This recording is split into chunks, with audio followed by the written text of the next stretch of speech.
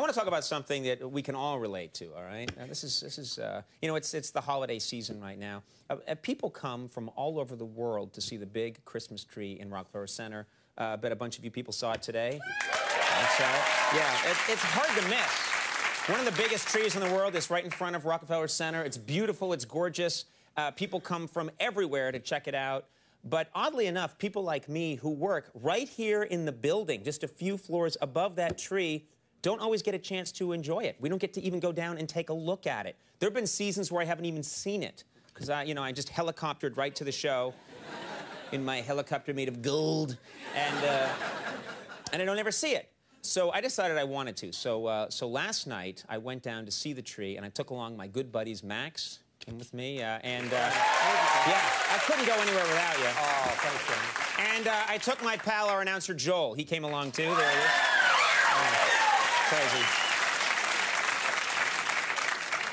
A job where you don't need pants. Anyway, uh, he takes advantage of it, don't you, Joel? Right. Anyway, we had a. Uh, we had a we had a terrific time. The best part is we took a bunch of pictures of our trip down to the tree. I just got them back from the old photo shack. Uh, yeah, and uh, I thought instead of me just uh, looking at them, what if we all looked at them together? Wouldn't that be fun? Good. That's what I we're do that right now. I'm gonna show them to you in a piece we're calling Rockefeller Center Tree Photos.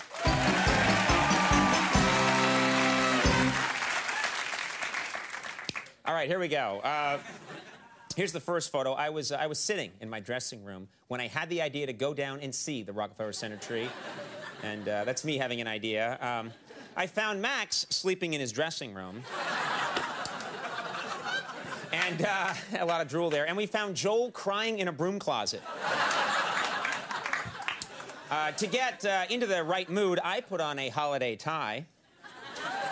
Uh, Max put on a holiday sweater. And Joel put on his holiday pasties, which is nice. Um, Max and I were uh, pretty creeped out by that. Then we recovered. Uh, we left the building to see the tree. There we are, right there. and apparently, I'm floating. I look like a cave drawing there of a guy walking. Anyway, we left the building to see the tree. We saw a big crowd of people, huge crowd of people, yeah. Now, I braced myself for a big rush of autograph seekers, but no one rushed over. I said, uh, I guess no one recognizes me in this disguise. Max said, But you're not wearing a disguise. So I stretched his lower lip and pulled it over his face. Uh, we finally got a look at the tree itself. There was a tree. We were stunned by its majestic beauty.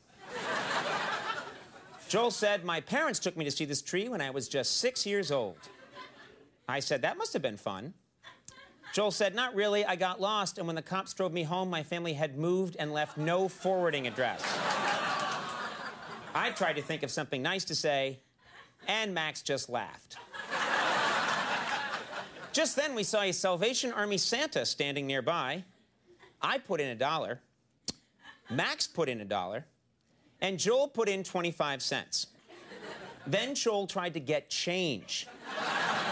I said, Joel, that money's for the poor.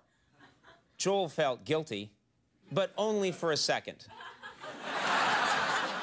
Just then, we saw an elf taking a break from the Radio City Christmas show.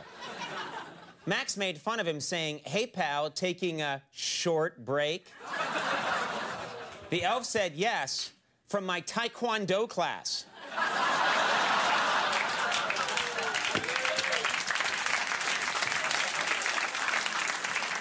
That's right, Max has no bones or arteries. After Max glued his head back onto his turtleneck, we decided to go skating at the Rockefeller Center ice rink. There we saw the famous statue of Prometheus. Max said in Greek mythology, Prometheus was punished by the gods for giving fire to mankind.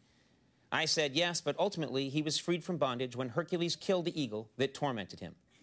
And Joel said, Hey, he's hung like a horse.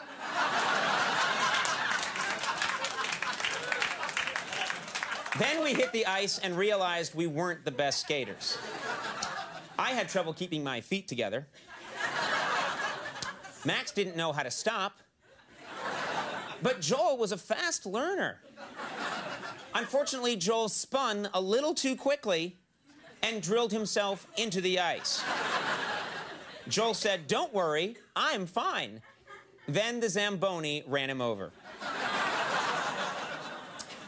After Joel recovered, we decided to take pictures by the tree. I asked a passing woman to take our picture. It was Katie Couric. I said, Beat it, Couric. You left NBC. You don't belong here anymore. Joel yelled, Take a hike, anchor babe. And Max said, Yeah, go back to CBS, traitor. So Katie knocked Max's teeth out, pulled my lower lip over my face, and ripped Joel's scalp off.